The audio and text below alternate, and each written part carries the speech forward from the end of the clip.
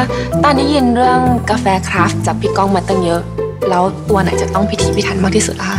คาปูชิโน่ของพี่นี่แหละ แล้วมัน craft ยังไงอะคะ คือคาปูชิโน่เนี่ยนะ มันคือส่วนผสมที่ลงตัวของเอสเปรสโซ่หนึ่งส่วน นมร้อนหนึ่งส่วน ฟองนมนุ่มๆอีกหนึ่งส่วน พอมารวมกันปุ๊บเนี่ยแหละ มัน perfect